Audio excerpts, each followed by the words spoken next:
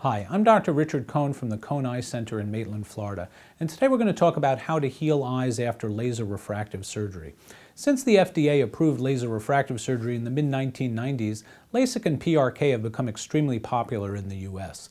These procedures remove nearsightedness, farsightedness, and astigmatism and reduce one's need for glasses or contact lenses.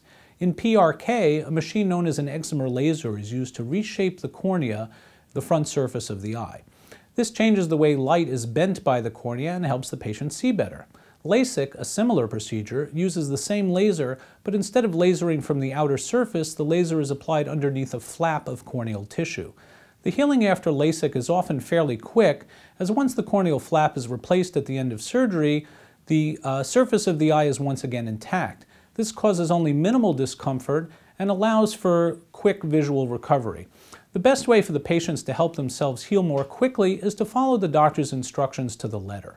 Most surgeons will prescribe both an antibiotic drop to help prevent infection, as well as a steroid drop to decrease inflammation.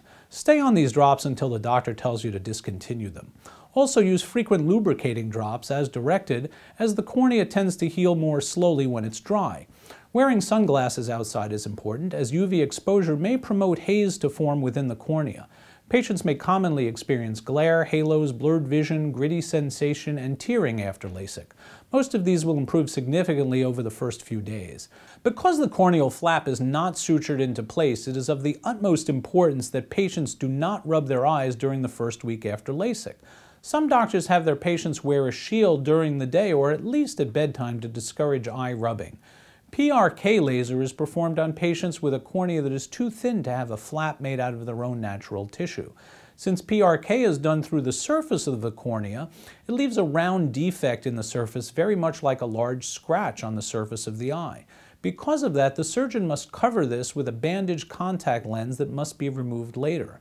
Healing from PRK is slower because you have to wait for the surface defect to heal before the vision improves. The most important pearls to help healing after any laser refractive surgery are keep the cornea well lubricated, avoid rubbing the eye, wear sunglasses, and please call your surgeon if you have any pain, discharge, or loss of vision.